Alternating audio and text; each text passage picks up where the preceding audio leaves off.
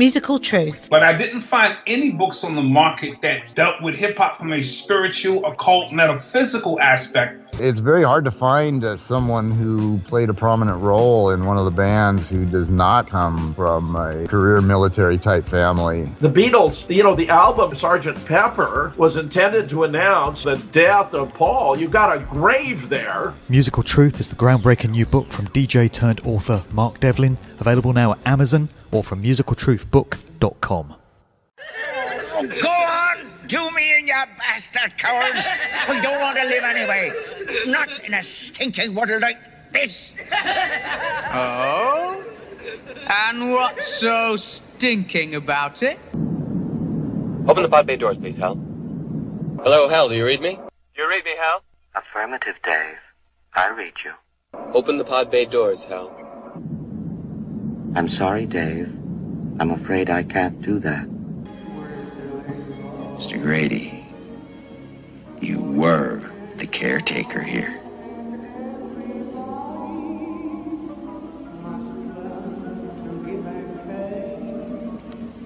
I'm sorry to differ with you, sir. But you are the caretaker. You've always been the caretaker. I should know, sir. I've always been here. So, when it comes to critically minded truth seekers, it seems they've always got a favourite scientist, which is Nikola Tesla. And their favourite US president is always John F. Kennedy. And their favourite filmmaker always tends to be Stanley Kubrick. And this is totally understandable given that the guy's uh, canon of work was totally enigmatic and totally captivating. And there seems to be so much hiding beneath the surface narrative of all of Kubrick's movies. Great truths encoded into uh, the fabric of all his films. I've long been fascinated by this guy's work, and I've always understood that there's so much more to know in terms of what he was communicating uh, through his work. And so I've wanted for some time to do a volume looking into the work of Stanley Kubrick. It was merely a case of finding the correct guest to uh, talk to, and I think I've found him. We're on the line today to author and researcher Carl James. Hey, Carl. Hi, how are you doing? Thanks very much for having me on the show. Good man, good to have you along. And uh, I saw you online a few months ago on a panel on Richard D. Hall's Rich Planet TV Yeah. show. That's how I came across you. And I think you were talking Kubrick related stuff there. And was, so, yes. uh, yeah, I made a note to reach out to you. and I'm happy we could do this today. Yeah, that's great. Thank you. Great. Okay, well, we got a whole bunch of things to discuss. But first of all, maybe you just want to start by explaining what it was that got you yourself fascinated with the works of Kubrick. What got you on this path?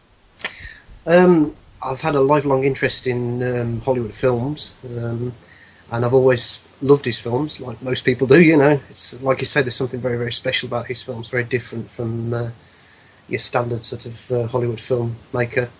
And uh, yeah, I, I got the impression that there was something. When you watch those films, you always get the feeling that there's something going on under the surface. The, your experience is something a bit different. Um, and I don't think I really ever got it uh, when I was younger, but certainly in the last sort of 10 or 15 years when I've been doing a lot, sort of, particularly after 9 11, really, but started doing a lot of alternative research and that. And um, still having an interest at that point then in Hollywood films and directors and writers and that, and seeing sort of the paths that these people uh, crossed with um, people in the establishment, elite figures, people who work for certain parts of the global agenda and stuff like that. Right.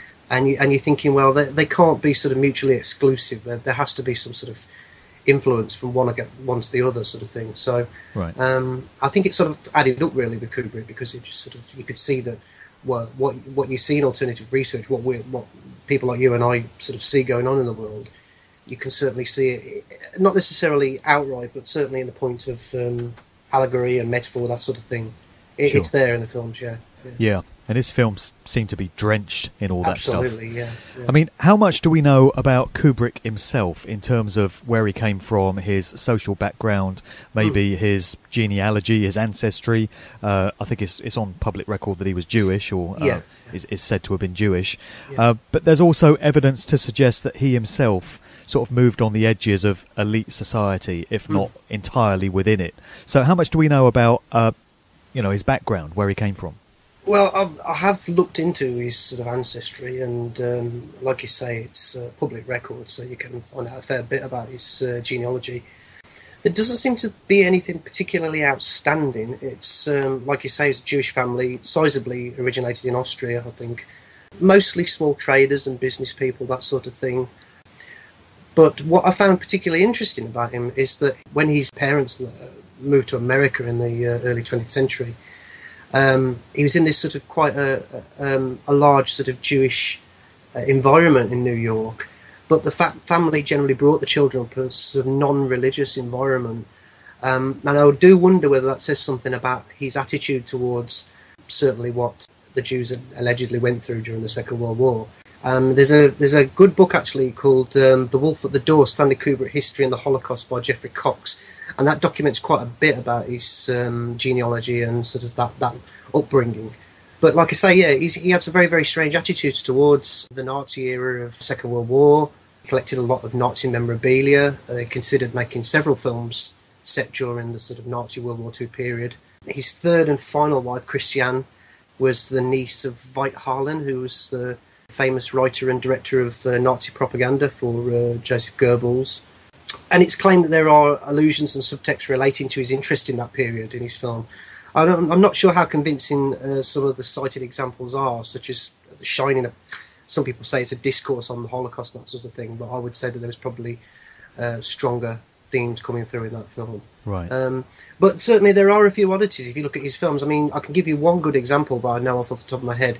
Um, in 2001 A Space Odyssey, there's a, scene early in the film where the ape man throws the bone. I'm, I'm assuming you're familiar with the film, yeah? But, oh, uh, absolutely. I've seen yeah, it about yeah, 20 yeah, times. One of my all time favourites. Yeah, it's, a, it's, a, it's an amazing film. It really is. Yeah. It really is, yeah.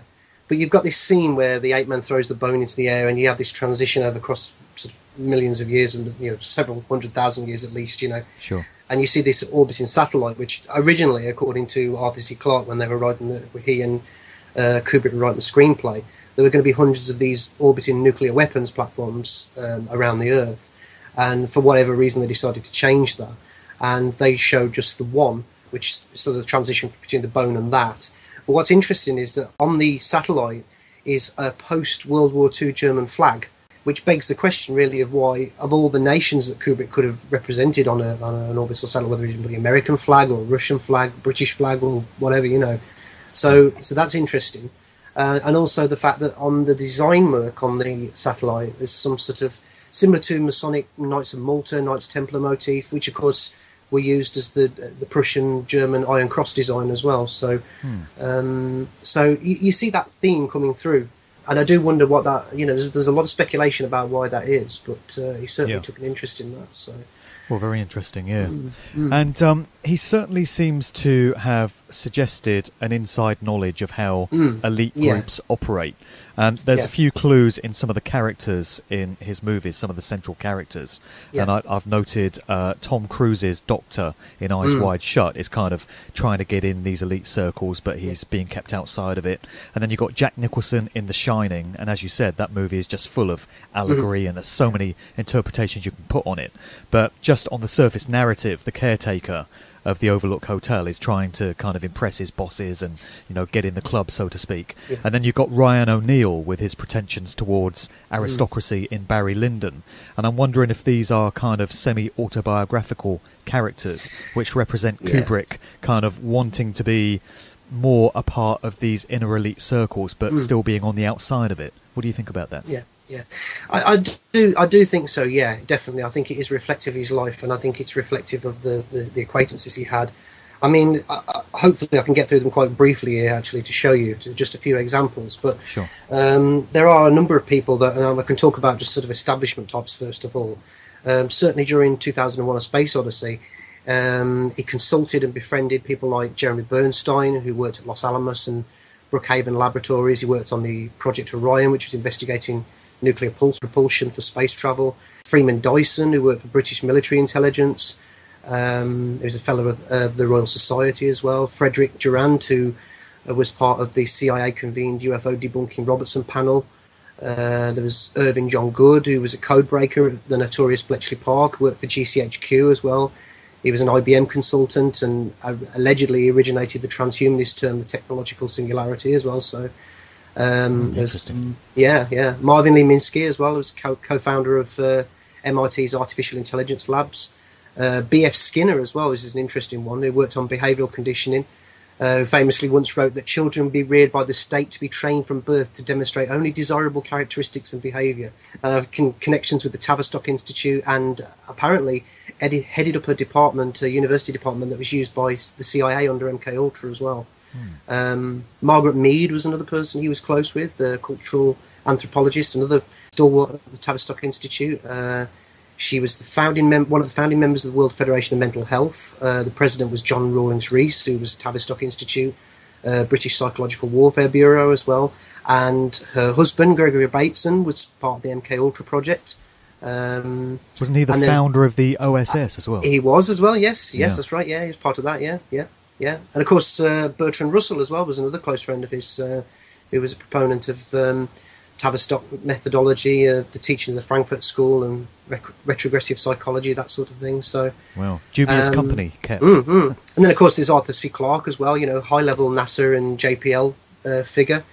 Once the head of the uh, Commonwealth of Nations Atomic Energy uh, Agency, which was um, uh, one of his associates was Mark Oliphant, who uh, worked on the Trinity team on the Manhattan Project as well. So um, he, he, he was responsible for bringing NASA, IBM, and Bell Labs, those sorts of people, onto 2001. I mean, I will talk a bit more about Clarke uh, a bit later, but uh, Sure. yeah. Um, and he was courted, like we say, going into sort of the, the, the more sort of elite circles. You know, he was courted for uh, to be uh, uh, involved with the 1965 uh, White House Festival of the Arts.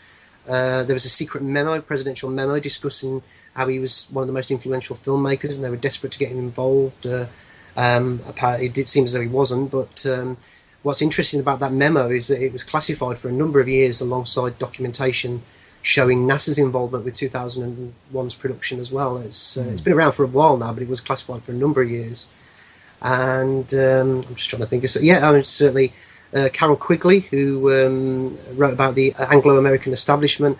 Um, there is this contention that Kubrick was loosely aligned with those people. So you're talking about Council on Foreign Relations, the Trilateral Commission, um, proponents of Cecil Rhodes, the Morgans, the Rockefellers, the Rothschilds, that sort of thing. So they're all there. yeah, yeah. And one other notable example before I I get off that, sorry, uh, is that um, he was seemingly acquainted with the Italian Aldobrandini family, noble family.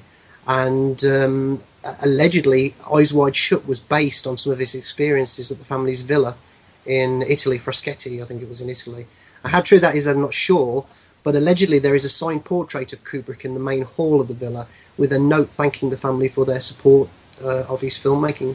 And of course, the that family is uh, distant cousins of the Breakspears family. They're married into the Rothschild family, and anybody who's researched this subject will know that they are um, either linked or direct bloodlines within what the, the so-called black nobility. So, uh, and of course, um, Mentmore Towers, which was used in Eyes Wide Shut as well for the exterior shots of that, was was owned by the Rothschild family as well. So you know, Wow. yeah, so it's uh, crazy, really, when you look at it. That's more than enough connections to raise some eyebrows for sure. Yeah, absolutely. Yeah. Wow.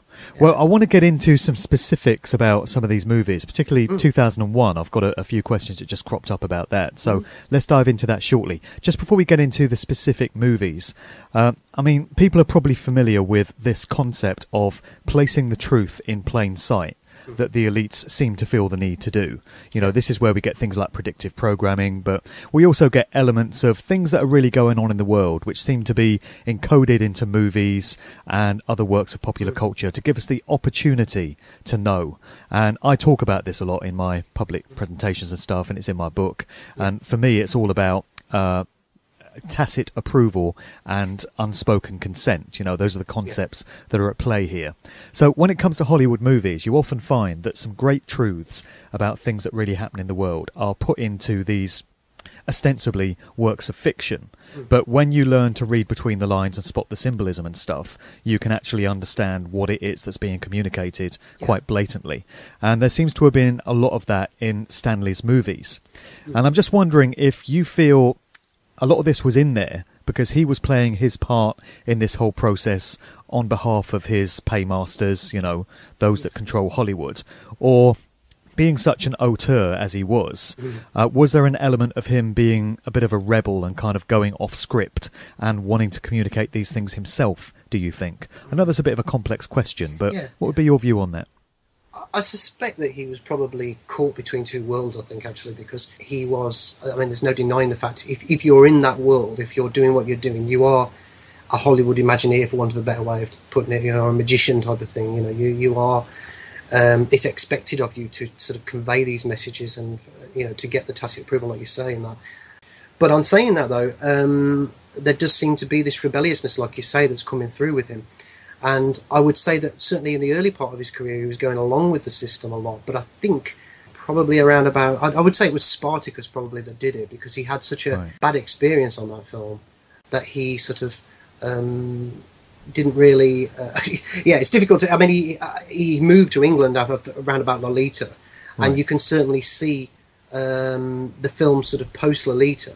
There is that rebelliousness there. If you watch the films now, you get the feeling that he was doing a lot more. He was pushing against the accepted Hollywood rulebook. Yeah. Um, of course, he was still being f- financed by Hollywood, but I think that disconnect from America, being in the UK, gave him a lot more um, independence. And um, but you know, uh, there are these things. I mean, you look um, reflectiveness between him and what he was experiencing. Um, I mean, certainly, if you look at Eyes Wide Shut, we were saying before about these characters in these films. He, seems like he is almost an outsider. He's part of the system, but he is almost an outsider, and he's reflecting that in his films as well.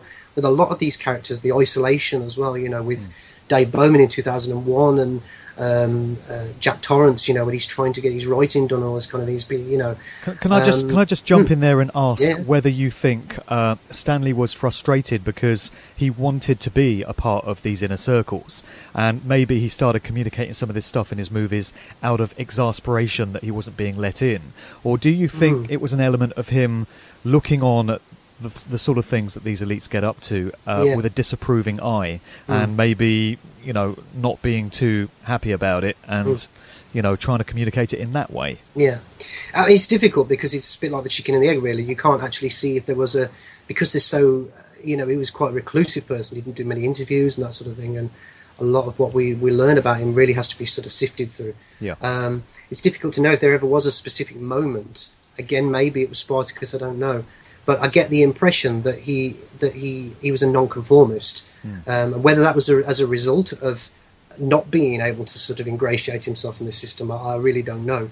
Um, but he certainly, I, I think he, he he settled into being comfortable in that role of being a nonconformist as he as he went along with his films. Sure. Um, I, and I suspect that he may have actually considered himself something of a loner, um, although he probably never dared to admit it. But he seemed to be uh, seemed to be most happy when you read biographies and you read people who talked about him. That he seemed to be happy in his own company. He had his own way of doing things. Um, it, it made perfect sense, you know, system things that he was doing that it made perfect sense to him. Baffled and annoyed other people, fiercely protective of his own creative vision. Uh, and I suspect also that he resented having to rely on other people. If he could have made the films entirely by himself, I, I think he would have tried to. You know, Right. um, so so that that tends to sort of, for me, it tends to indicate somebody who's not uh, essentially comfortable with that sort of world. Sure. Um, so, and I think as as he was moving in that world, he would have known things. He would have seen things. It's, it's you know yourself with like when you've talked about the music industry and all that. You do. Uh, the further and further you get into these things, you see these. You see these really really strange things going on, and um, and I think that happened with him. I really do. I, you know. Yeah. Right. Yeah. Well, you mentioned Lolita there, and Hmm. I've kind of identified that movie as something of a turning point in his career because up to that point, his movies were. The narratives of them were fairly straightforward to my mind, you know, Paths of Hmm. Glory and Spartacus. They were just straightforward stories, entertaining, you know, great films to watch. But it seems to me that from Lolita onwards, he seemed to have been communicating various aspects of the elite's agenda through each film. So Yeah. Lolita was, uh, in a very subtle way, about paedophilia that goes on within these circles. Mm. Uh, and then you had Doctor Strangelove, which was Yeah. all about, you know, Cold War and uh, elite right. depopulation plans, uh, thinly veiled and stuff. And 2001, you could study for days, and The Shining. We'll get into those. But, you know, it seems Lolita was something of a turning point in that regard. Would, would you go along with that? Yeah, I, I think there are some some little points with Lolita. It is not overtly, certainly in comparison to the films that came later, but you see that first off there. and, and subsequent films. And I think as it went on, I think he found his feet. He felt more confident with himself. He, he, you could see that he was getting more independence and, and more ability to articulate these things. So, so they, they were there. Yes, definitely. I mean, you look at uh, like we say, Doctor Strangelove. Um, Lolita, you know, there seems to be a different aspect of the elite's agenda that gets encoded into each movie. Mm. And with Lolita, it seems to be communicating, you know, in a, in a very subtle, veiled way, Mm. paedophilia within Yeah, the yeah. ranks. Um, yeah, I think that's that's definitely there. I mean, it's uh, there are some differences between um, the novel the novel version, um, Nabokov's book. Um, main main thing being the, the expansion of Peter Sellers' character uh, Quilty, Yeah. um, and I think by doing that, Kubrick was able to add another subtext which wasn't there really in the as, as such in the original book, which is alluding to the existence of this paedophile network that was effectively trafficking in underage sex. Um, but I mean, that, that's I think the mistake people make sometimes is by categorizing Kubrick's films in a certain way. This is the one about mind control. This is the one about paedophilia. This, you know, that kind of thing. Because there is there, there's a huge overlap. I mean, if you look at A Clockwork Orange, for example, when um, Alex's character is, um, I think it's the deltoid, is it the uh, the social for the comes to he grabs his nuts, you know, basically when he's sat on the edge of the bedroom, you know. And in the book and the film, Alex is only 15 years old, and um, in the in the novel version of, of Burgess's novel of A Clockwork Orange, uh, Alex coaxes uh, two 10 year old girls to his bedroom for sex. In that version, obviously, they appear Wow. older in the uh, in the film, but then you have in The Shining as well. You know, it's confirmed in the in the narrative that uh, Jack Torrance has been physically abusive towards his son Danny, um, but there is this subtle undercurrent that there's more going on. Sexual and I think, abuse, yeah. absolutely. And he and he's there's a scene where he's sitting in the foyer waiting in the in the lobby waiting for um, the hotel manager, and he's reading a copy of Playgirl. Yeah. And on the front cover of it is this this article entitled "Incest: Why Parents Sleep with Their Children." You know, I mean, it's uh, and eyes wide shut. Again, of course, you've got the the owner of the costume hire shop who's Yeah. prostituting his own Pimping out underage his daughter, Yeah, yeah, that's right. And there's a very peculiar scene in the, at the very end of the film as well, which has been interpreted different ways by people, but I think it speaks for itself. Really, is um, uh, Bill, Bill and Alice Harford's young daughter Helena appears to be led off by two strange men. Um, and both these characters appear fleetingly earlier in the film at Ziegler's party. So there, there's a suggestion of a sinister connection there. But freezing the film and actually looking at it, you can see that Alice turns to look at her and looks back at Bill again. And they just continue their conversation, and uh, it's almost as if it's not happening, you know. So there, there is that there, and of course AI as well is another example. You know, I mean, it wasn't it was Kubrick's planned film, even though Spielberg took it over, but um, after his death. But Kubrick's original intention was to explore this notion of why adults would want to, to purchase artificial children that never aged, you know. Um, but so you, you do have these overlaps, and of course, I mean, I, I mean, if you want me to get into it or here or not, but um, there are the accusations that were made about Arthur C. Clarke as well. Um, Yeah, yeah. Well, let's yeah. touch on that because you, you hear things about him. You know, he went out to live in Sri Lanka, and you hear Yeah. all sorts of uh, stories about what he got up to out there. I mean, what have we got Mm. on him? Well, it was. Um, uh, there is an older version of Clarke's Wikipedia page, which doesn't exist now, but it uh, it did say that on. I'm just going to quote from it here. It's the 26th of May 2000. Clarke was made a Knight Bachelor for services to literature at a ceremony in Colombo. Uh, the award of a knighthood had been announced in 1998 New Year's honours. Red flag straight away. Knighthood. Exactly. Yeah, yeah, that's right. Yeah, it makes you think of Savile and all the rest of it. So, Sirs, yeah, yeah. yeah. Uh, and the award of the knighthood, yeah. Investiture of the award had been delayed at Clarke's request because of an accusation by the British tabloid The Sunday Mirror of paedophilia. The charge was subsequently found to be baseless by Sri Lankan police, according to the Daily Telegraph. Uh, the Mirror subsequently published, published an apology, and Clarke chose not to sue for defamation, and he was duly knighted. And people would say, well, that's that's the end of that, really. You know, whether he was is it's been obviously whitewashed, you know, that sort of thing. Just a coincidence, nothing to worry Yeah, about. yeah. But more recently, uh, former uh, News of the World and Sunday Mirror reporter called Graham Johnson published a book called Hack, and he gives some accounts of his time working at these newspapers. And in it, and quote here, he said there was an exclusive story exposing the science fiction writer Arthur C. Clarke as a paedophile, and that the story was spiked. And then there was this interview with the, uh, the Independent Online where he said Roger Insall said that because Arthur C. Clarke was a mate of Rupert Murdoch, the editor wasn't having any of it, and despite Roger getting a lot of evidence that Clarke was a paedophile, they wouldn't publish it. Unquote. So I think that's Talk about know, elite circles, as we yeah, were. yeah, yeah. And of course, what we were saying before, you know, with the contemporary revelation, revelations, with what's going on now, some of this sick, sick and depraved behaviour of these high-profile public figures, you, mm. you, you do have to wonder what Kubrick um, knew. I'm not for any second saying that he was involved, but yeah, um, sure. But you, uh, you, you, you wonder what he must have known. Mm. And mm. I've got some more questions later about what he might have Mm. known about certain things. Yeah. Um, just while we're on the subject of Lolita and leading on to Doctor Strangelove, because Peter Sellers was involved in Mm. both those movies. Are you familiar with Greg Hallett? Do you know Greg Hallett? I did uh, an interview with him a, a while back, and he's a New Zealander, but he claims that he's the legitimate king of England. And what he claims is that the royal bloodline was usurped at some point during Queen Victoria's reign, and that every monarch since has been illegitimately that's if you consider royalty to be legitimate in the first place, has been illegitimately uh, placed there. And that there's an entirely different bloodline that kind of branched off. And that he is the guy that uh, has been nominated and should be taking the throne right now. But anyway uh, he's got this alternative family tree of the royals.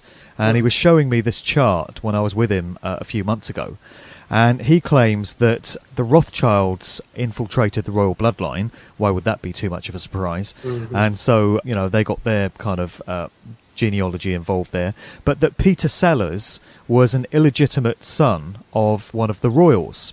and that this was always known within elite circles. And that would be the reason why Peter Sellers was placed in the public eye, because this is what they do with people Yeah, from yeah, yeah. important bloodlines. Um, but you also then are reminded of the fact that he died at a relatively long, young age. I think it was Mm. 52 of yeah, a heart attack, we're told. And you've got to wonder what that was all about. I just yeah, wondered yeah. if you'd come across that about Peter Sellers. Uh, I haven't actually. No, that's the first I've heard of it. It wouldn't surprise me because there there are some very very strange things about uh, Sellers. Definitely. Um, uh, many many years ago, I, I can't recall the name of it. There was a film made. Um, I think it was Jeffrey, somebody who played him in it. Um, yeah, like a- Geoffrey Rush. That's the one. Yeah. Yeah. Yeah. And and although the film was put across in a very very strange way with these sort of daydreams that were almost sort of MK Ultra type sort of things, you know, but. Uh, Hmm. seeing sort of the way his, his life developed and his strange behaviour and like yeah yeah um, Very interesting but- movie, that. yeah yeah absolutely uh, I, d- I mean there are a few things I do know I, I certainly um, find it very strange there are some I wrote some stuff quite a while back about how he cropped up in uh, the Muppet Show of all things and how uh, the Disney connection with uh, mind control and stuff like that and of course if you look at these guests that were on that show I mean I'm just going off completely on a tangent here but No, there are worry, these really the really time. odd things about Peter Sellers or certainly you look at a film like Being There uh, the 1979 film that he made. It's loaded with Masonic imagery. And again, that chimes with Kubrick because you have the story of an ordinary man who's inadvertently thrown into the middle of elite circles and Yeah. just doesn't have a clue what's, uh, you know. Um, Absolutely. and, uh, and also, apparently, he had a dalliance with uh, Freemasonry as well. He was inducted into the Chelsea Lodge um, in July 1948, if Hmm. memory serves me. Um, I- I they say that he wasn't a mason, a mason for very long, but uh, it's difficult to confirm how long he was. But I know that his father was a lifelong Freemason.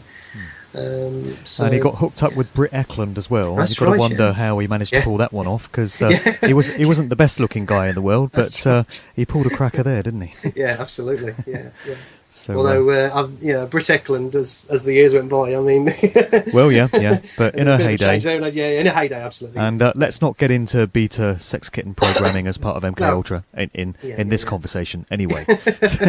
yeah, well, um, yeah, yeah, and certainly I would say that certainly with Eyes Wide Shut, it's there's a load of uh, clues to that in there. Yeah, I Oh, would go as far as to argue that pretty much all of the uh, female characters in that film are, have been conditioned in some form or another. So yeah, monarchs or whatever. yeah, yeah. Yeah, um, Greg Hallett did mention being there to me, and he said it's a Mm. very key movie because uh, Yeah, yeah, Peter yeah. Sellers had a lot of control over it, and did, there's? Yeah. there's a lot of stuff that's being communicated below the surface there. Yeah. And Greg Hallett also says that he's in it. So, uh, right, okay. Yeah, so uh, very interesting stuff. But anyway, uh, so the other movie that Peter Sellers featured in of Kubrick's was Doctor Strangelove, Mm, mm, mm, and yeah. the thing that I always remember about that when I think about you know truth issues and conspiracy issues is you got the character played by Sterling Hayden, and he goes off on a bit of a diatribe talking about how uh, the powers that be are trying to poison something about our precious bodily fluids, or you know, poison the water, or something. You probably remember what the line is, but it seems to be quite top- yeah. striking,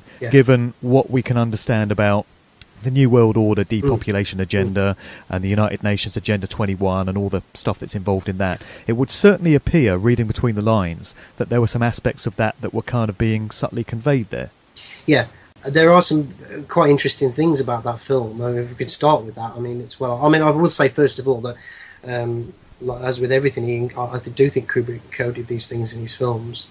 He said he was on he was on record actually saying he loved it when people took the time to interpret his films, and, and tellingly, he never really revealed his, his intended meaning to the in, in, in interviews and that. Yeah, he didn't, did he? Uh, no, no, but he, he, he, I think that was uh, that was something that he was really proud of. That people, when people did take the time to study these things and find these truths in them. But of course, he- I mean, we, we, we we were saying about Doctor Strangelove. I'll start with that. I mean, um, Kubrick wanted Pentagon support uh, to realis- realistically portray certain elements in the film.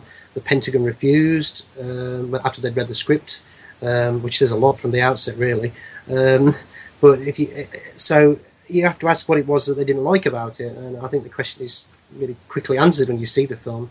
But you have these recreated interiors of a B 52 bomber uh, that were allegedly so realistic. The Pentagon inquired as to how Kubrick was getting access to highly accurate and guarded information. Um, and a couple of interesting figures connected to the film as well. Um, in the production, during the production, Kubrick consulted Alastair Buchan, who was the head of the Institute for Strategic Studies, which was part of uh, the legacy of Cecil Rhodes, uh, historic connection to the Round Table, Henry Kissinger, the Rothschilds again, that sort of thing. And Alastair Buchan pointed Kubrick to Peter George's novel Red Alert, which Doctor Strangelove was loosely based on. And Peter George was a British intelligence officer. Um, he was co-credited as a film screenplay writer with Terry Southern. And um, in- incidentally, it was Southern that introduced Kubrick to A Clockwork Orange, the novel of Clockwork Orange during 2001. Um, but Southern and incidentally Peter Sellers, while we're on the subject as well, both had an extensive relationship with the Laurel Canyon scene. They lived there, they had properties there, and you, and when that, I always think whenever you hear that those two words, Laurel Canyon, your bells start going off because you, you know, you start wondering about military and CIA connections. Yeah, And that's a real pet not- subject Yeah, of mine yeah. right now. That's it. I mean, if anyone's not familiar, I mean, obviously the, the research that you've done, is, but also um, Dave McGowan, who bless him, is not you know not with us anymore, Absolutely, but um, yeah. a fantastic researcher. And um, that book, the book, uh, Weird Scenes Inside the Canyon. Uh, people should check that out if they haven't already. Yeah, Absolutely. yeah. And um, and just one more thing as well. I was saying about Sterling Hayden. Um, he had an extensive career in the OSS as well. So- well, there you go. So- Who'd have thought it? yeah, yeah, yeah. Uh, connections everywhere. And I've got to ask you, the character played by Peter Sellers, uh, the German doctor, Yeah. strikes me as looking very like Henry Kissinger. And Right. I wonder if you think that was supposed to be a parody of Kissinger. Uh, wouldn't surprise me. uh, interestingly, um, the closest I've got to finding out what the, who the character was based on was um, uh, allegedly an amalgamation of Edward Teller, the father of the hydrogen bomb, uh, and two other interesting characters here now as well: L. Ron Hubbard and Jack Parsons, who was the rocket pioneer who founded JPL and was a very deep occultist as well. Um, apparently, his, his character was an amalgamation of these ca- three characters, but I'm sure, like you say, there would have been other other people in the limelight that would have uh, figured into that as well. And I can see the I can see the uh, resemblance, yeah, definitely with uh, with Kissinger, yeah. Yeah.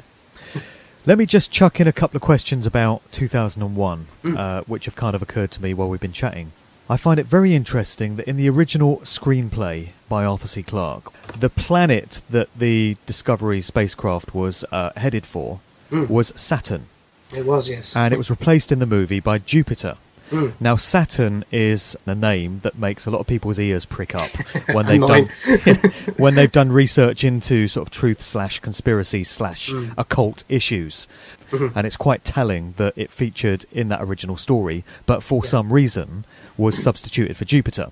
And we get this very weak kind of explanation for it, I think, which is on the yeah. official record, which was that when they were making all the models for the movie, they couldn't accurately recreate the rings of Saturn.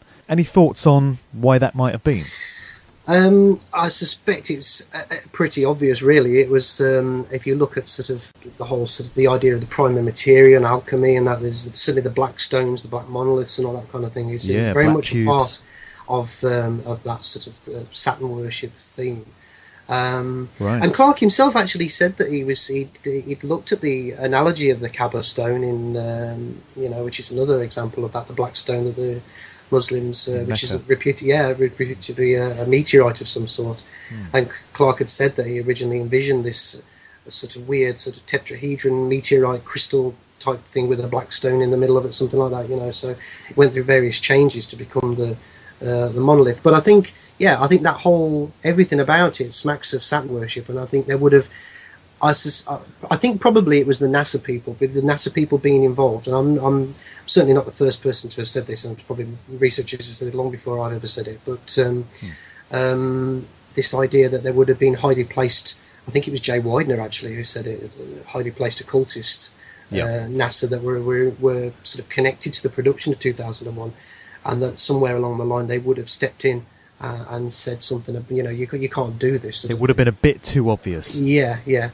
But I think there are. I mean, there are there are subtle giveaways. I mean, certainly if you look at how the story progresses throughout through Clarke's novels, and you get into sort of 2010 and the sequel novel, and he did change the, the, the location to Jupiter. Then, even though, like you say, it was Saturn in the in the novel version in the first novel version. Um, but then there's something about it that doesn't make sense because you have these monoliths that create it's almost like an alchemical process that turns Jupiter into a star, which incidentally they call they calls Lucifer in the novel. And if if that's the case, then how would that have proceeded if, if they'd have stuck with the original idea of Jupiter being the uh, Saturn, sorry, being this that would have gone through this transformation? Because as I understand it, the two uh, in Saturn worship, the two sort of this idea Lucifer, the, the morning star Venus, that sort of thing, and then you have Saturn, which is the, the black sun, the black star. They sort of sit in juxtaposition with each other. The one one is not as effective without the other kind of thing. We we have this sort of black and white in Freemasonry, the, the contradiction of the one and the other sort of thing. Um, if that was the case, that it would Saturn would have gone this transformation to become there. There wouldn't have been that balance there then in, in the narrative and sort of looking on it, looking at it on that level. So I, I don't quite get my. I could. I have trouble getting my head around that sort of thing. Um, Sure. But of course, even Kubrick himself. I mean, it's it's it's not blatantly coming out and saying it, but I think it was Frederick Ira Ordway who was one of the NASA uh, people involved with 2001. He said they were persisting uh, to get these, to like you say, to realise these rings. The special effects people weren't happy with it. Blah blah blah. Um, No uh, well, I mean, basically, in, in a nutshell, um, Kubrick expressed he was very, very unhappy for the rest of the production after that. They, they had done the, some work on Saturn, and we know that that work was done because um, I think it was Douglas Trumbull who directed Silent Running, used the footage that they'd actually put together for um, 2001. Yeah, that was all about film. Saturn, yeah, yeah, wasn't it? Yeah. And and actually, when you look at, I don't, as far as I know, he didn't tweak any of that. It was the existing footage that they'd already put together for 2001. But as far as I'm concerned, when you look at it, it's not it's not bad footage at all. Hmm. You know, it's perfectly it, it holds up perfectly fine. You know, Absolutely, Um, yeah. but Kubrick was not happy. Yeah, and I've got a, I'm, I'm struggling to find them, but uh, I have quotes where he was. I think it was Fred uh, Ira, Ira Ordway that said, you know, he, he he- was moping around the set basically for the rest of the production and kept badgering them and saying, look, you know, we can do this, but they uh, so so was that was it Kubrick? You know, was it was it was some you know was it the a collective amongst the production that that scuppered uh, Hmm. the Saturn? Was was Kubrick? Did Kubrick intend? To stay with it, you know, so I mean, you have Yeah. to wonder about that as well. So, So many questions, man. Mm. And one which I've got, which I've not heard any other um, researcher raise, and I've never heard anyone sort of speculate on this, but I've always wondered why it was that 2001 was chosen to be the year in the future in which this story was set, when the story was written in, you know, the 1960s. Yeah. And of course, uh, did any anything interesting happen in 2001? I can't remember. Oh yeah, yeah, September 11th. Yeah. So uh, you've Yeah. got to wonder Yeah. whether you know 35 years before Mm. or whatever it was there was some kind of inside knowledge of what was going to come in 2001 Yeah. and that's the reason it was selected Yeah. as this year for you know this momentous event that was being communicated Mm. this is all in line with the concept of placing the truth in plain sight Yeah, predictive yeah, programming and all that but you know I would have thought that if they were going to pick a year in the future, they might have picked 2000, the start Mm. of a new millennium. But for some reason, it was 2001. And I've never really Yeah. heard anyone speculate on whether that could be some kind of allusion to 9 11. Uh, it's interesting you to say that because I've actually fairly recently done some research on that because somebody alerted me to, uh, again, it was Jay Weidner um, that had been talking about this. And uh, he was basically saying that, um, I'm just trying to find some quotes from him. But uh, yeah, he said Kubrick knew something that was going to happen in 2001. He'd heard that something huge was going to happen. One of the buildings, the World Trade Center, I think it's number four, was exactly the shape of the monolith. Um, so, I mean, I'm not sure where he would have got, where Jay Weidner's got this information from, or whether he's just. Well, actually, when, uh, when you think about it, the black monoliths look very similar to, yeah, the, to the yeah. towers, yeah. That's right, it is, yeah, yeah, yeah. But I mean, some interesting bits and pieces I can put together for you here is that, like you say, it had several names. The film didn't get named 2001 until April 1965, I think it was, yeah, when it was called 2001. And the designs for the World Trade Center were unveiled in January 1964, so it's around about the same time there.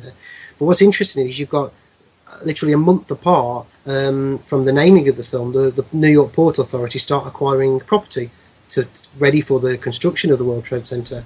Um, That's right, Just yeah. a few weeks before, literally just a few couple of weeks before the name changed to 2001. I think it was uh, Planetfall or something like that. It went under a number of names: Journey Beyond the Stars, Universe Tour of the Stars. I think was another name for it before. So it's like production of the movie Um, and production of mm. the World Trade Center Yeah, towers yeah, yeah. ran concurrently. Yeah, yeah, yeah.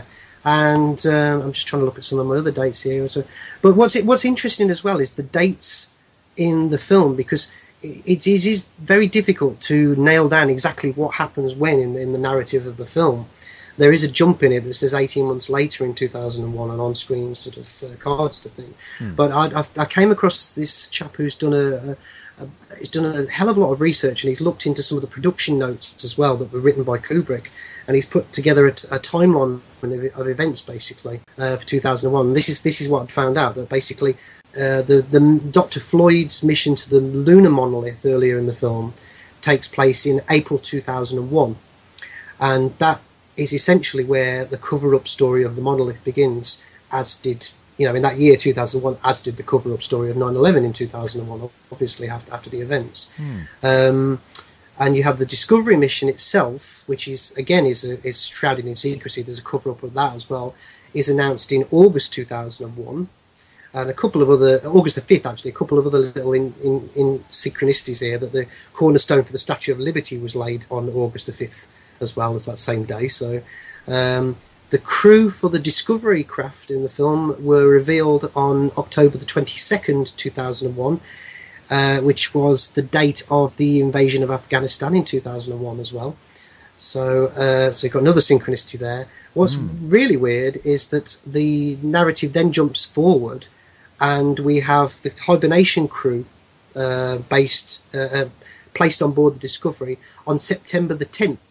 But this is actually 2002 in the in the, the chronology. But it's still an interesting date there, 2000, Hmm, September sure 10th. is. And Dave Bowman and Frank Poole allegedly board the craft on September the 12th. So the crew are placed on board either side of September the 11th. Very So interesting. in 2000 and, and there's one other little thing as well, and uh, people joke about this one, but it's interesting that i- early in the film, uh, Dr. Heywood Floyd's talking to his daughter, who's incidentally played by uh, Vivian Kubrick in the film, um, on like a, a video screen, and uh, based on the timeline, that would have been 2001 then. And he says to his daughter, "What would you like for a uh, for your birthday?" And then she says, "A bush baby." And what's one of the main things other than 9/11 that we remember about 2001? President Bush. Wow. Isn't I mean, Sync maybe incredible? it's nothing, but you know, it's you know, it's Wow. there. So. Amazing, amazing. And um, you got the HAL computer, HAL, and of course, a lot of people have uh, said that, pointed out that if you move it one letter back, you get IBM. and was yeah, that a communication of you know the early days of computing and a knowledge of what was to come with IBM? I think that's even on the public record that it was a It a- is, yes. a representation of that. Yeah, yeah.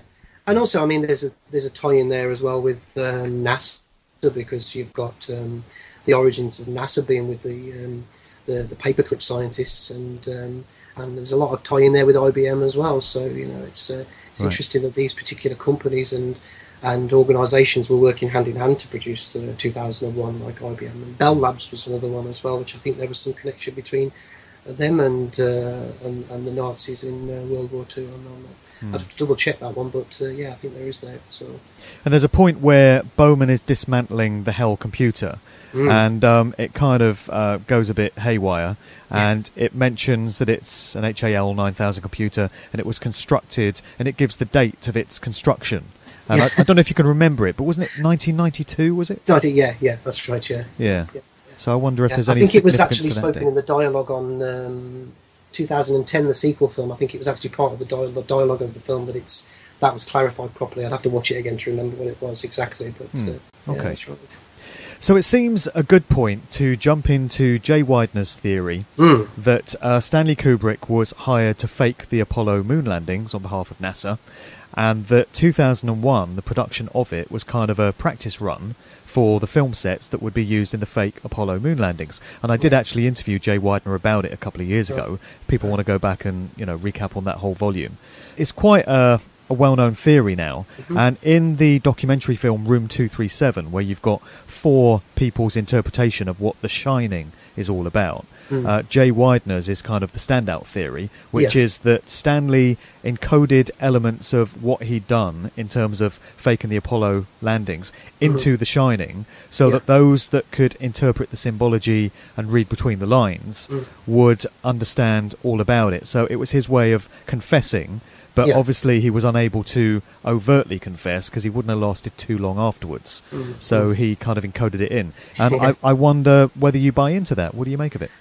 Um, yeah, I've, I've done quite a, a few sort of interviews on this and written a, a huge amount of material on it. But um, I will. I'd like to say for, to start with, if it's okay with you, just to, from the outset, that I, I am actually sometimes misquoted as being one of these people that believes that Kubrick um, was involved and that he, he was re- responsible for faking it. Um, I don't actually take that position. I don't think that there's currently any evidence to prove conclusively, absolutely conclusively, that he was involved. Um, I say that with a couple of provisos. So, firstly, the, the it wouldn't surprise me in the least bit if he was. I will say that. And secondly, he certainly had the means to realistically pull it off. I mean, if you look at Jay Weidner's hypothesis with the uh, the notion of projection, creating realistic looking lunar landscapes, backgrounds, and that, you know, it's, it was it was within uh, the realm of possibility. Um, but it's not conclusive. That isn't. It's it's it's, infinitely possible, plausible, but it's you know it's not sort of.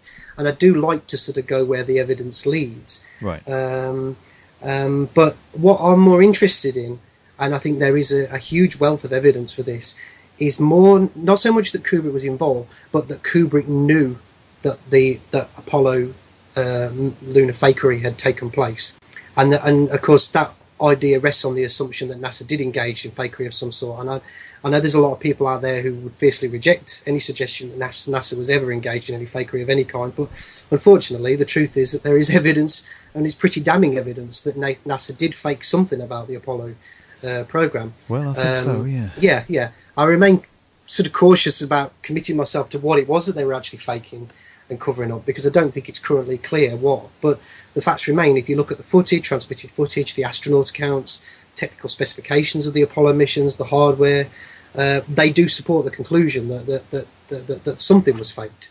And and I think that's where Kubrick comes into it because I think he knew. I'm not ruling out the possibility that he may have been involved, uh, but I think that's more conclusive evidence that he that he knew that he knew that this fakery had, had gone on.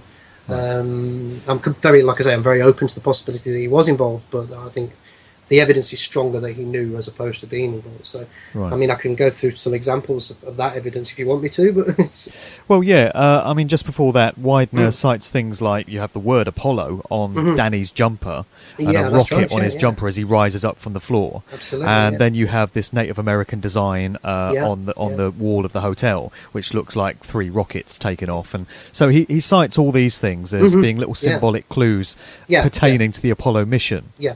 I, well, I think those would be the, that those would be part of the body of evidence that shows that that Kubrick knew about it. Right. Um, and the hotel would- manager, the Barry Yeah, Nelson guy, yeah, looking a bit like JFK. And Yeah, yeah. Like you say, we've got Jack Nicholson interviewed by uh, the manager. Looks like JFK. He's wearing red, white, and blue, and he's wearing this hairpiece that makes him look a bit more like JFK. There's a, an eagle statuette um, sitting on the office window, and Yep. you know some people believe that alludes to like the eagle has landed and the, the eagle craft. You know, there's several eagles in the film actually. Jack Torrance has got one on his T-shirt, which incidentally is reversed in mirrors. So there's like a sort of a cult touch to that as well. Uh, the film was produced by Hawk Films, one of um, Kubrick's uh, outfits, and Peregrine Film Production as well. It was called. So got two birds of prey there as well.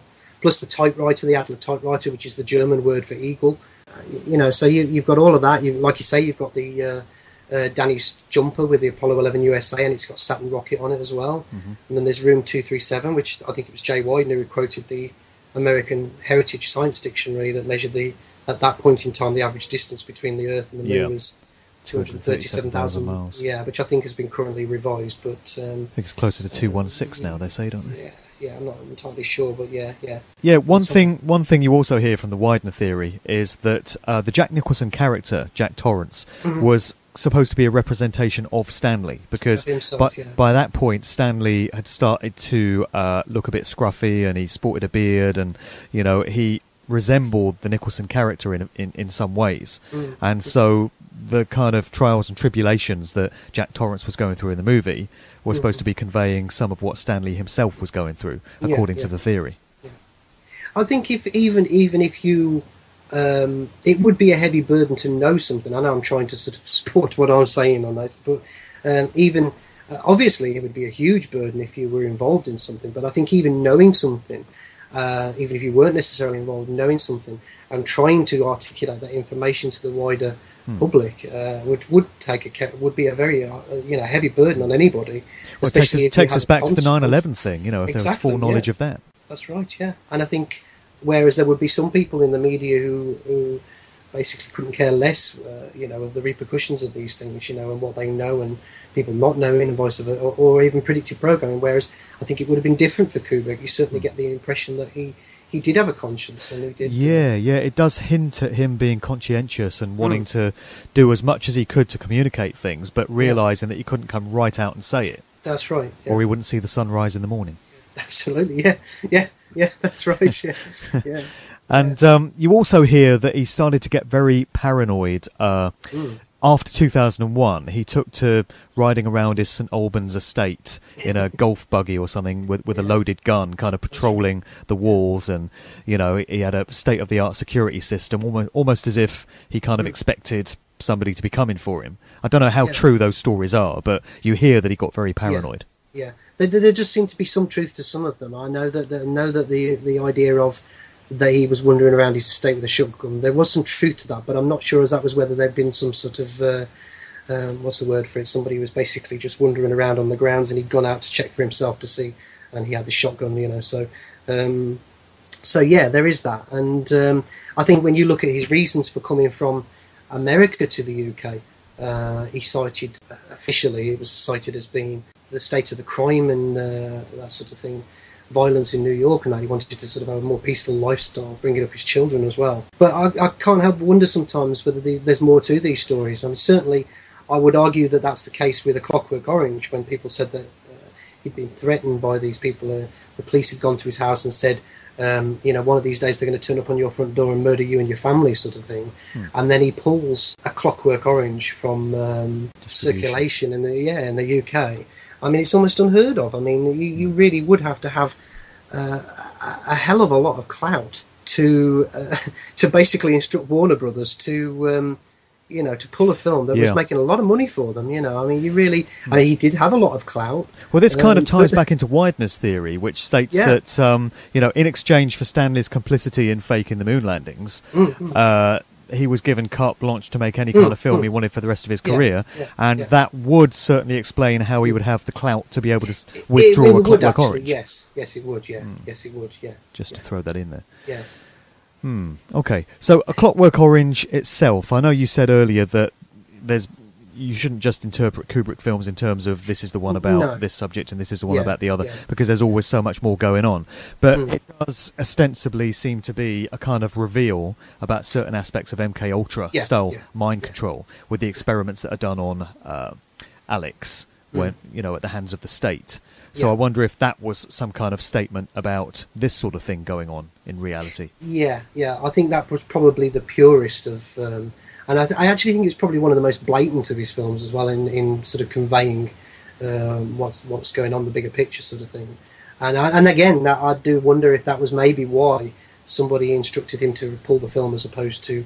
Um, if you look at a lot of the people that were involved with the origins of MK Ultra, you know, they were ostensibly sort of um, British scientists and social engineers and psychiatrists and psychologists, that sort of thing. So um, certainly Tavistock had a big Tavistock Institute had a big part in it. So uh, maybe I mean that's just speculation on my part. I've got no proof of that, but Sure. um, um, but yeah, I think it's there, there doesn't seem to be an awful lot else conveyed other than the social engineering aspects of um, um, that how you can use um, manipulation and psychological sort of that change behavior and all that sort of thing to change people's being. So so yeah, but again, that's that's another one that's interesting because if you look at Kubrick himself, he said that a social satire dealing with questions of whether behavioral psychology, uh, psychological condition are dangerous new weapons for a totalitarian government to use to impose vast controls on its citizens and turn them into little more than robots. That that was his uh, the way he basically ex- described the film, and he went further than that and said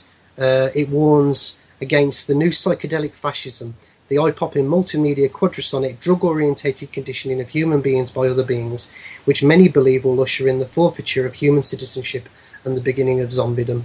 Unquote. So it's pretty blatant, really, what he was trying to do. It wasn't so veiled as his other films. And it also depicts a dystopian future. And we Mm. get so many films now all about this nightmare dystopian future, you know, sort of part Brave New World, part 1984. Um, so he was kind of ahead of, ahead of his time in doing it Mm. as long ago as he did with The Clockwork Orange. But Yeah. it certainly seems to be conveying this nightmare kind of, you know, uh, martial law type society that Mm. we seem to be hurtling towards by the day. Mm, mm. I mean, I, I know. I think it was Lucy Sargisson who was uh, um, a histor- historian with uh, Nottingham University, and she did a lot of research into uh, dystopias and all that. And she, although she doesn't go as far as to accept that, that, that there's cover-ups and things are going on in the world that, but she certainly accepted that dystopias and that were, were a reflection of the times in which they were written. And I think if you look at what was going on in the 1970s, and especially in the UK, um, it, you could extrapolate quite easily forward uh, from that point.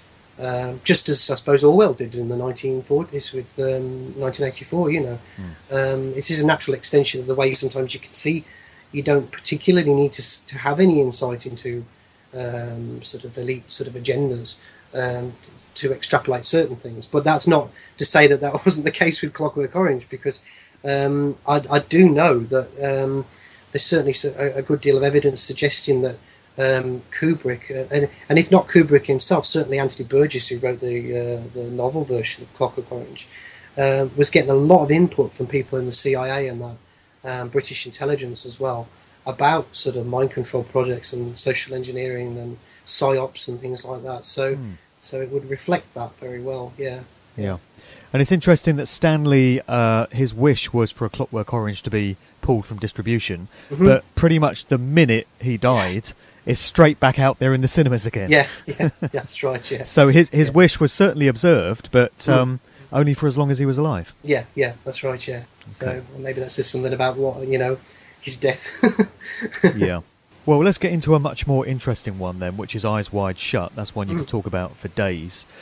Many people think this represented Kubrick just going too far in terms of what he was revealing about elite secrets, and particularly the ritual orgy scenes that we had, uh, filmed in a Rothschild mansion, I believe. Just, That's right, yeah. Just remind me which which house that was. It was uh, Mentmore Towers.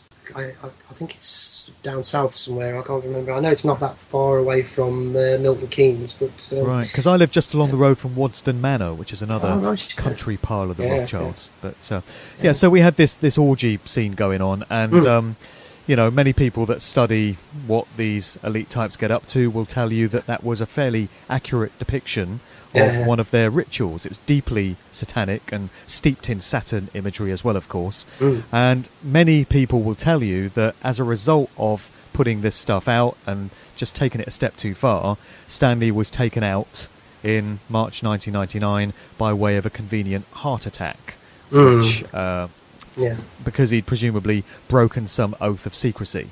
Yeah. Uh, I mean, he did die fairly suddenly Mm, around the mm. time of that movie appearing. So, uh, what are your thoughts on all of that? Yeah, um, I think it's. I tend to be quite pragmatic about these things. I've certainly, you know, people that people do die of natural heart attacks and they can die very suddenly, and you know, we have to accept that. But I think it's a mistake to assume that, that people uh, aren't bumped off for going against the system. We know for a fact that that happens. I mean, one very simplistic example is the CIA whistleblower. Um, I'm trying to think of her name now. Mary Embree, that's it. Uh, revealed during the 1970s that the CIA had got this gun that fired an untraceable dart that could trigger natural-looking heart attacks, and uh, when they did the uh, you know the autopsy afterwards, it would just look like a perfectly normal natural heart attack.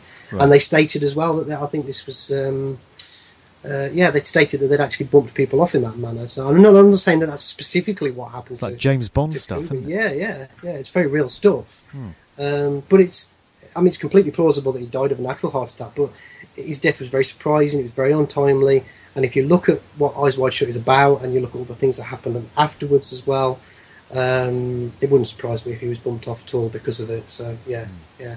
And if you think about it, really, I mean, like you say, you've got you've got a Kubrick film. He's basically telling the viewer that the elite types are having these secretive gatherings. They're practicing all kinds of ritualistic and sexual shenanigans and whatnot. Um, when their cover is potentially blown, they have no qualms about murdering or intimidating other people to keep their little secrets. Add to this the fact, like we said before, you've got these characters in it that appear to be under some sort of conditioning, programming, and that. Uh, and you've got symbolic allusions to that throughout the film. And even just watching the film, even if you're not aware of these things, I know of people who have sat down and watched Eyes Wide Shut without any of sort of this insight, and they've got they they just can't get their head around the film. It's, they know there's something unsettling about it, but they it's like they don't just don't seem to get it. It's just, but, the, but the one thing that they will admit is that there's something about it that unnerved them. Hmm. And I think that says a lot. I'd probably go as far as to say it's probably one of the most revelatory films ever made, actually. But um, I think it probably is, yeah. Mm, mm. And there's said to be 20 odd minutes of footage that were yeah. trimmed from the final version by the studio, which yeah. which seemingly nobody has ever seen. Mm. Although I did hear a story a year or so ago that a part of one of these deleted scenes resurfaced somewhere, right. even though it's not been released. Right. Uh, so it leads you to wonder what could have been included in those 20 odd minutes mm, that mm. nobody's ever seen. I know of two definitely confirmed ones that are a scene where, and they, they sound sort of innocent really, but you never, out of context, you don't know. There are some stills of them floating around on the internet of the Harford family on a rowing boat uh, on an afternoon outing on a lake. There's also another one of Alice and the daughter Helena uh, going horse riding um, so we know we we know those scenes were cut. Now we know that they were filmed and they were cut. They sound innocent um, enough. They do, but you never know. You never know. Yeah. But more sort of um, suspect is one that has been confirmed now. It's been confirmed since about 2013. Is at uh, one hour 19 minutes and 27 seconds into the film, there is a cut where uh, Doctor uh, Bill Harford finds himself separated from the masked woman uh, I'm just reading from this article. Yeah, he walks down a hallway, distantly following a couple. He turns to see an empty room with a pentagram-like circle in the centre. The reaction in his eyes can be seen in the close-up.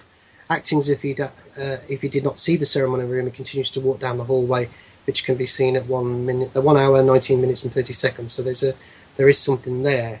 Um, yeah, I remember yeah, seeing yeah, that article. Yeah. yeah, and there's all these other little things as well. I was reading this article um, by Eric Kirsten who was saying that um, to some in the know, there's quite a lot cut from the ceremonial scene, i.e., child sacrifice, which would bear out all the stuffy preparations for this descent into sort of posh spice health in the film. You know, that unquote. That's what she says. And there's also some other claims as well that Kubrick attempted to insert uh, subliminal triggers intended to break um, mind control programming of certain people in the audience. Um, that may have cost him his life. Uh, I don't know how true that is. It's uh, I haven't come across anything to back it up, but it's it's interesting, it? nevertheless. Yeah. Um, sure is. So yeah, yeah. But then you have some real other oddities as well. Like you've got, um, I mean, it, I think the final cut of the film, which was his cut, um, was like seven days before he died. I think the seventh, second of March, he and Nicole Kidman, Tom Cruise, and the Warner chairman, Bob Daly and Terry Semel, viewed it. And then on the 4th, I think it was viewed by his close family and friends. And then, of course, three days later, they found dead of a massive heart attack. And then you get the film coming out in, uh, which is interesting actually, the date. Kubrick, which I mean, this may support the, the idea that Kubrick was involved with uh, NASA fakery, um, that he stated in the contract for the film that it would be released, and it was, hmm. Uh, in the United States on July the 16th, 1999, which is exactly 30 years to the day that the Apollo 11 Saturn V rocket was launched. Yeah. So, you know, but anyway, There I mean, go. you have the film was released and you have Bob Daly and Terry Semel uh, uh, at the world premiere of Eyes Wide Shut announced their simultaneous retirement from Warner Brothers as the co-heads of Warner Brothers.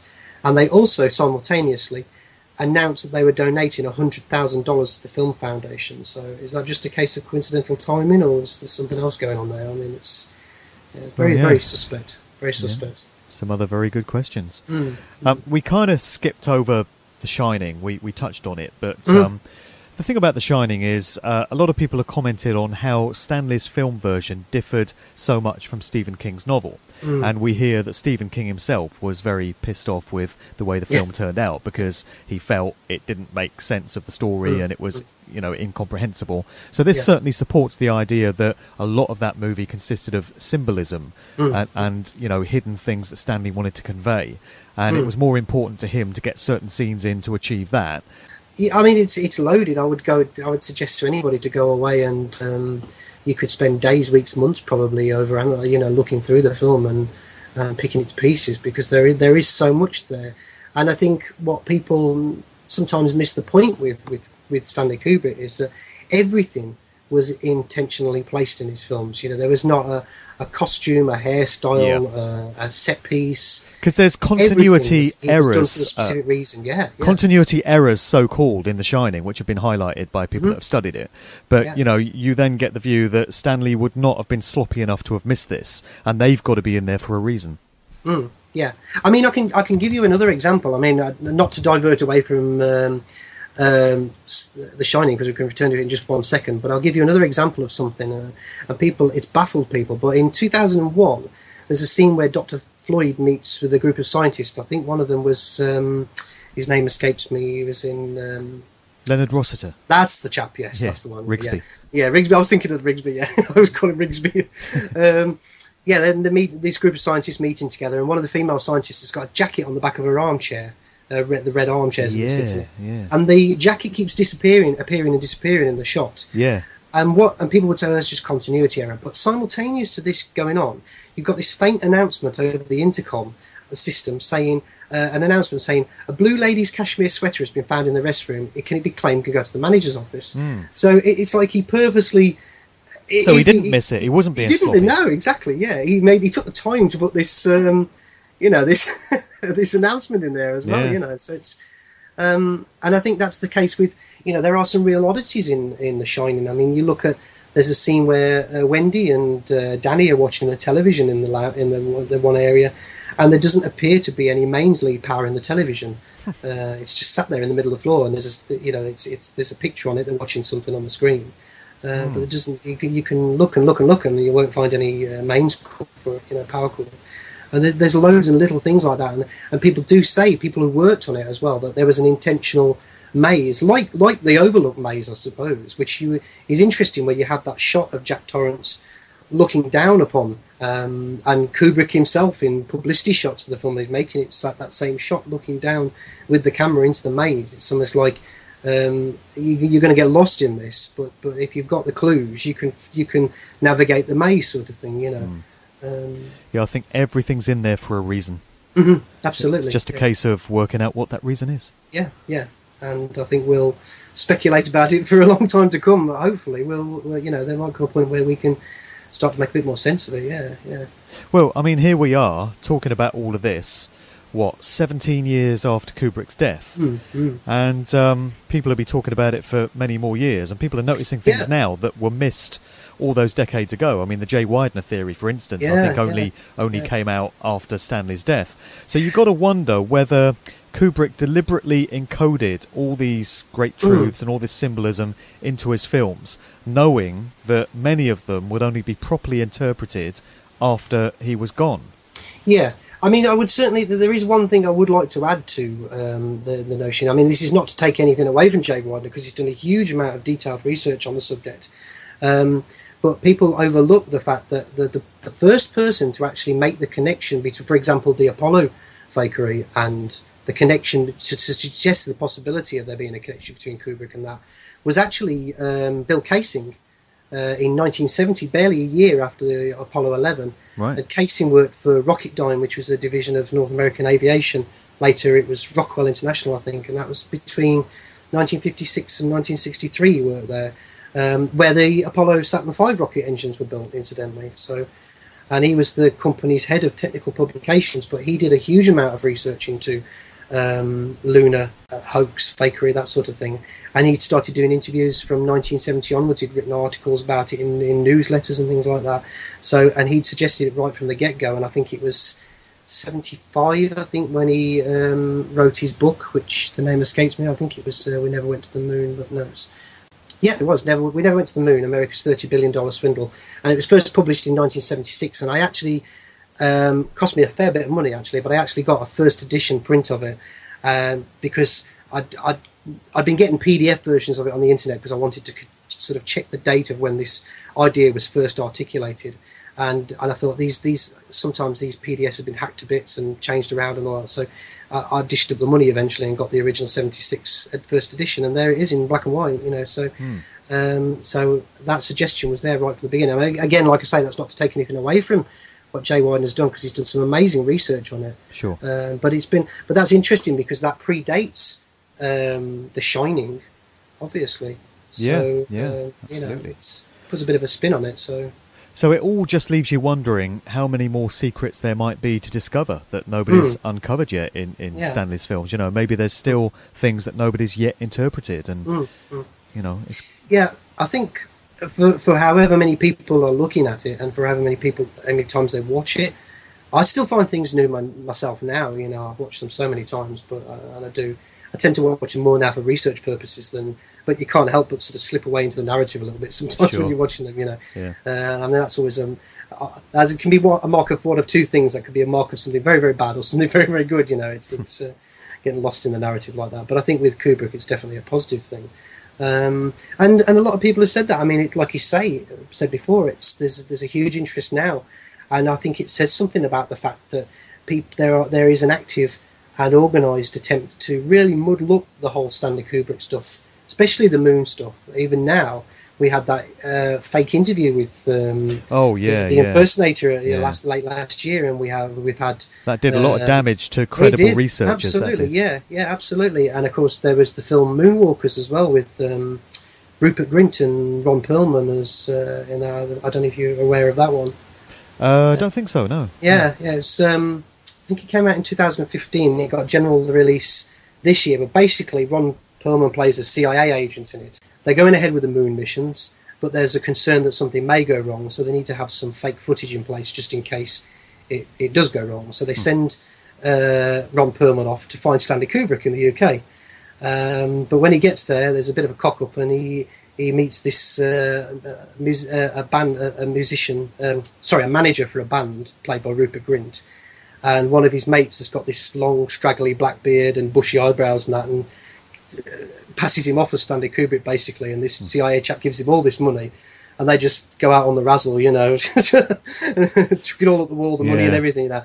And then, of course, at some point along the line, they do actually have to make this fake uh, footage, and they do. Um, but it, it's, it's actually quite a good film, but it's certainly. It But you got to wonder why these of it, things yeah. why these things come out. You know, yeah. is it to timing, to throw genuine yeah, researchers yeah. off the scent or Yeah. uh, to discredit anything they might say in the minds of the general public? right. You know, and, that- certainly there's. Sorry, go, yeah, that interview with. Uh, Supposedly Stanley Kubrick, Yeah. he looked more like friggin' Harold Shipman, the bloody mass murdering doctor to me. yeah, absolutely. Yeah, I think anybody who was uh, was suckered by that within five minutes of watching it, I think they uh, you know they need to go away and learn their Kubrick a bit more because Yeah. I think it was pretty giveaway straight off the bat. So And you got Yeah. this fake story about Ringo Starr floating around as well, where he's supposed Yeah, to be admitting to right, the Paul. McCartney replacement. Now, uh, people will be aware that I, people will be aware that I've done a lot of uh, research into the idea that Paul McCartney was replaced, and I Mhm. can actually absolutely go with it. So Mhm. then you've got to wonder why they bother making fake uh, news stories. Uh, like this one, which is quite blatantly, provably a hoax. Yeah. Uh, if if there's no foundation to the story that's, at all, That's, that's right. Yeah, yeah. And interestingly, it kind of ties into Kubrick's life himself because there was a chap who wasn't apparently wasn't a very very good impersonator, but Alan Conway, I think his name was, who tried to pass himself off as Kubrick and went round these nightclubs in London and was trying to get sort of free drinks and free deals out of people and stuff like that. And, and Kubrick got wind of it, and um, I think there's a film version of it now where John Malkovich plays the character of Alan Conway in it. I think there, I'm sure there's a film version of it. Right. Um, but Kubrick apparently was fascinated by this idea of a, of a doppelganger. He was really, really, really interested in it, and allegedly, Stanley, uh, uh, Christiane Kubrick said. What, what the hell are you playing at? You know, it's this is frightening stuff. You know, why would you want to? You know, but no, he, he was really quite fascinated by it. He was so, you know, it's uh, Maybe you yeah. knew about Paul McCartney. yeah, maybe, maybe, yeah, yeah. One of them, because I, I, I tend to think that there probably were several. Of, uh, that's my own take on that one. I think there probably were several Paul McCartneys. But Oh, God. my Dear, own Paul- okay. personal opinion on that one. So yeah, well, one subject at a time, I think. yeah, yeah, yeah. Yeah, all right then, Carl. Well, it's been a fascinating chat today. I was pretty It's sure great, it would yeah. be. Yeah, I've and really um, enjoyed it. Thank you so much. yeah, you've really brought some stuff to the table, and uh, thank you for some of these revelations. So, is there anywhere online that people can find more of your work and uh, find out more about stuff that you've put out there? Yeah, certainly they can. Yeah, um, they can check out my blog, which is the truthseekersguide.blogspot.co.uk or .com will work as well. Um, that's my main website where I publish my articles and that. I've also got a YouTube uh, page with um, a number of presentations I've done, but you can link they, they're linked up from the web from the blog page as well. And also there's my book as well, um, Science Fiction in the Hidden Global Agenda, published by Lulu. We can get it from there, or you can actually get it through my blog as well. Um, I pretty much sell that at cost. I don't make an awful lot of money on that, but I'm actually just finished. Uh, that was 2013. I published that version, but I've actually just finished a 2016 edition, which has added about another 400 pages to it. And I've actually, because there's so much of it, I've actually had to split it into two volumes. So take a look at that. So yeah. Okay, great. And can people reach out to you and correspond with you if they want to do that? Uh, yeah, uh, I don't currently post my email address on my uh, um, blog because uh, I was having some spam problems. But if people want to, uh, I monitor my comments on my blog. So if anybody wants to contact me, they can leave a message in the uh, with their email contact details or whatever in the comments box, and then I will delete that. I won't publish it. I will delete that afterwards and then contact them personally. It seems to work. Um, another a number of people have got my contact details as well. Andrew Johnson, for example, is somebody who can get hold of me for you know. But um, until I get over the few little uh, trolling problems that I've been having lately with my website. Uh, mm. Yeah. So. Okay. Sure. All right. Thanks for being a part of things today. Thank you. Yeah, really appreciate it. Thank you so much. All right. Great. This is just for I'm picking up vibrations. I'm picking up vibrations. I'm picking up vibrations.